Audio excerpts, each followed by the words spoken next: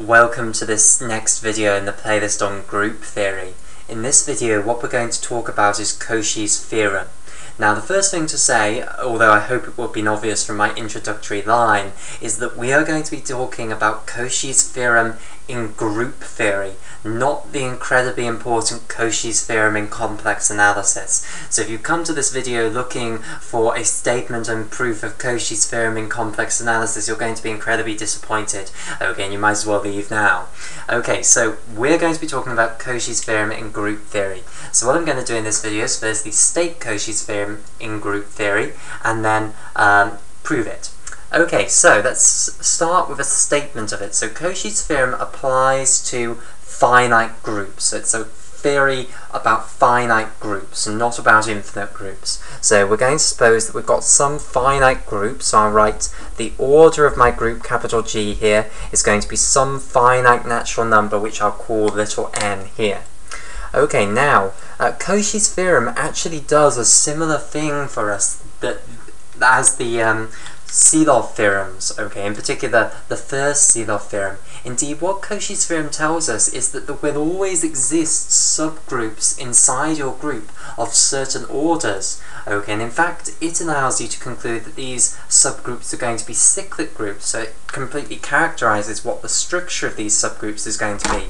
So it's going to be a theorem about subgroups, in particular cyclic subgroups that always exist inside any group, okay? Right, and of course it's about finite groups rather than infinite groups. So now the next stage is to say, okay, let's say that when we uh, factorize down this order of this group into its prime factorization, which is something we're well aware of how to do from school maths. Okay, we've got some natural number here, we can factorize it down into its prime factorization in terms of positive natural number prime numbers.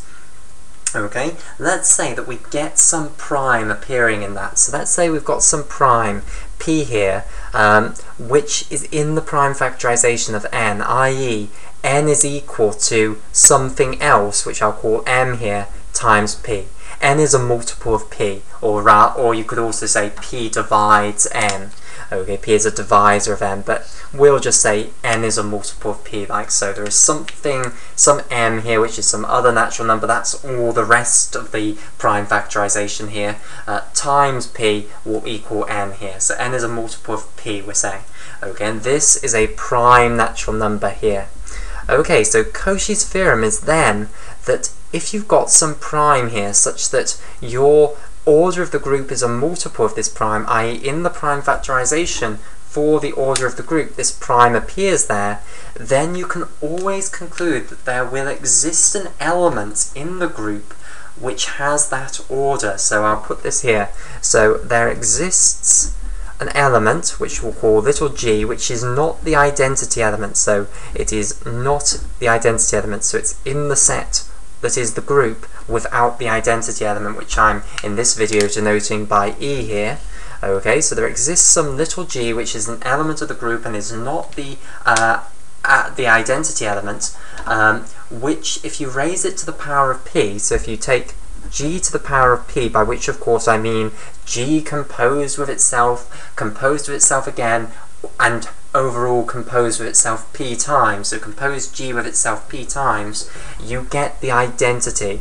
Okay, and of course this means that the order of this element is going to be equal to the uh, prime p um, because that must now be the smallest number of times uh, that you can compose g with itself to get the identity. And remember the definition of the order of an element okay written like so the order of an element of the group is the smallest number of times you can compose it with itself to get the identity back and of course, if we're saying that I can raise g to the power of p and get the identity, well, that must mean p is the uh, order of that group. Uh, sorry, not the order of the group, the order of the group element, because you can't, uh, it can't be the case that there is a smaller power of g which would give the identity because if it was the case then that p would have to be a multiple of that smaller uh, natural number. And of course a prime number is only a multiple of 1 in itself. Okay so uh, unless it was the case that g to the power of 1 equaled the identity, which would only be the case if it was actually equal to the identity itself, uh, and we said that g was not the identity, uh, then there is no option. Okay, there is no smaller power of g that you can have which will give you the identity in this case. So that p must be the smallest power of g that you can take which will give you the identity, and therefore by definition it's the order of that element of the group. So this is what Cauchy's theorem says. It says that you give me any finite group which, when I look at this order of this finite group, it has some prime p in its prime factorization, i.e. it's a multiple of this prime p, you can always conclude that there will be some element in that group, which we're calling g here, such that g has p as its order. And of course what you can then do is create the cyclic subgroup generated by g, which will be uh, the subset of the group capital G, which contains the identity g to the power of 1, g to the power of 2, etc. all the way up to g to the power of p minus 1 and then of course when you go above that you'll just revert back to the identity and this will be a cyclic subgroup of order p, i.e. it will be isomorphic to the cyclic group of p elements Okay, and this will be a subgroup inside the group capital G. So you can always conclude, therefore, that there will be a subgroup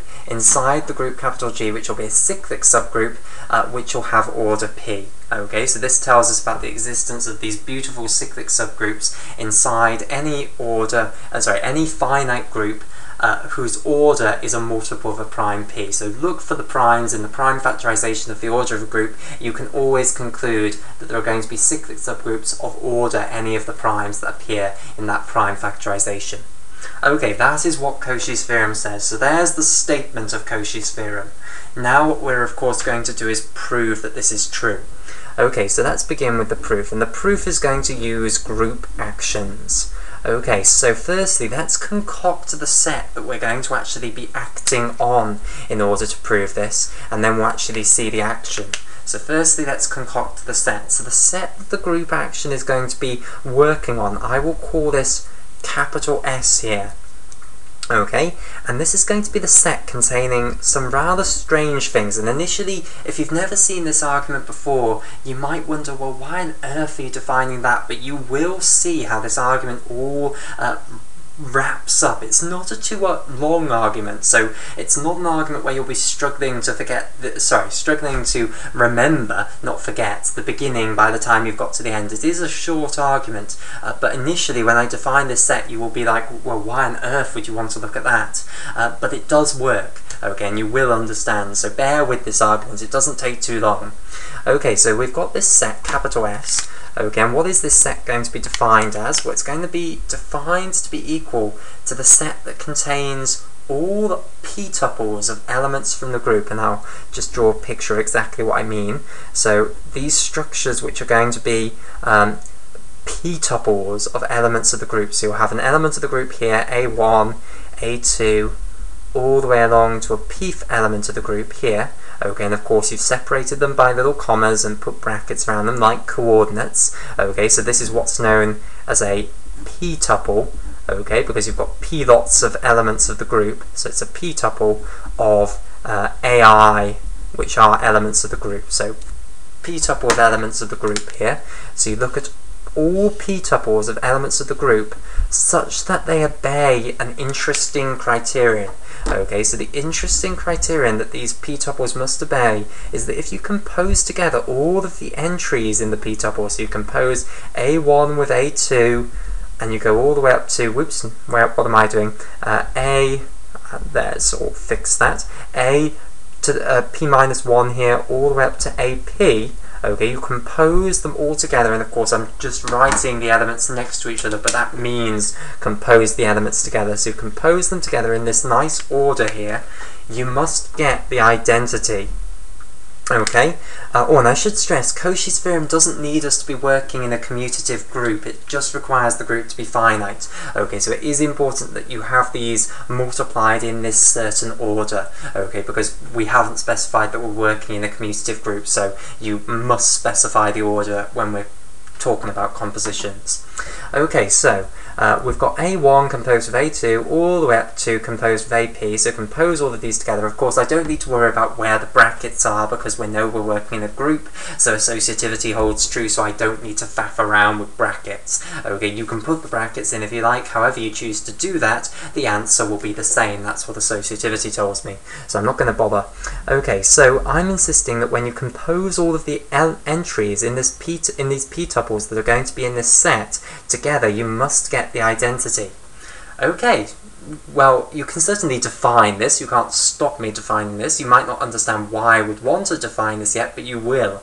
Okay, so what we're going to ask now, the next question, is going to be how many elements are there actually in this set? What's the size of this set? Okay, clearly because the group is finite, there are only going to be a finite number of these. Uh, it's bounded by the total maximum number of p-tuples of elements of the group you could possibly concoct. Okay, um, but what is going to actually be the size here? Because it's not going to be the same as the size of all p-tuples of elements of the group, because we've eh, restricted it down to having to obey this criterion here. But this criterion is not as difficult as it looks, because actually you can let a1, a2, all the way up to ap minus 1 equal whichever elements of the group you like provided you then pick AP very carefully. Okay, provided you make AP equal to the inverse of AP minus 1, so AP minus 1 inverse, and then you multiply this with the inverse of A2, A2 inverse, and A1 inverse. So you go through all of these, find their inverse elements, and then put them in the opposite order here. Can you see? That if I was to substitute that in for AP here, then everything would start cancelling. AP minus 1 would cancel with its inverse here, they'd go. AP minus 2 would cancel with its inverse, which would be after AP minus 1's inverse, etc. And you'd go all the way down to A2 cancelling with A2's inverse and A1 cancelling with A1's inverse, and you'd get the identity. So actually, you are totally free to let A1, A2, all the way up to AP minus 1 equal whatever you like, whatever takes your fancy from the group capital G, okay, provided that you pick AP in this way. AP is then set after that. You can't change AP. There's only one element of the group that can go there in order for this statement to be true. Okay, so how big then is this set here? Well, it's just going to be how many different uh, combinations can you come up with for the first p minus 1 sockets here. And of course there are n things in the group, so you can put n things in A1's position, you can put n things in A2's position, all the way up to p minus 1's position, so overall the number of different things in here is going to be n to the power of p minus 1.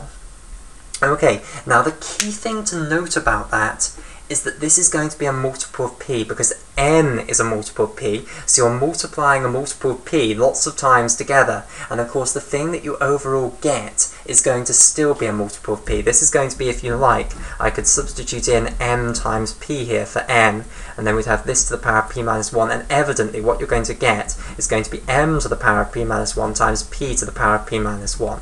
Okay, so you're going to have something that's a multiple of p, absolutely. Okay, so the size of this set, the important thing to take from this is that it is a multiple of p. That's the important bit that's going to come into play later on in the proof of Cauchy's theorem. Okay, so where are we going to go from here? This is the set on which I'm going to define a clever group action. But firstly, what I want to point out to you is that if you have one element in this set, so let's say we have A1, A2, all the way up to AP, and we're now imagining that these are fixed. I've chosen some A1, some A2, all the way up to some AP here. So I've picked an element from this set S. What I want to show you is that if you cycle these around, the p-tuple that you end up with is still going to be in here. So my claim is that I can bring AP right to the front here and then move everything along by one, cycle everything along by one, move everything along by one to the right here. Okay, and what I'll get is the p-tuple that looks like this, AP, A1, A2, all the way up to AP minus 1. And from this you might be starting to guess uh, which group I'm going to have acting on this set, but we'll uh, leave that till later. At the moment, all I want to claim is that this other p-tuple, which is certainly another p-tuple of the elements of the group, is also going to be an S. So if this is an element of S, I claim that this one is also going to be an element of S. Now that requires proof, okay, because um, how do we know that it still obeys this condition? Because we're not necessarily working in a commutative group. Okay, so I can't just multi, you know, I can't just uh, alter the order in this way and hope that it will be true. I have to have a good justification for why that's going to be true. What I know from the fact that this one's in S is that A1 composed of A2 all the way down to composed of AP is equal to the identity. But think what I can now do. I can multiply both sides on the right by the inverse of AP.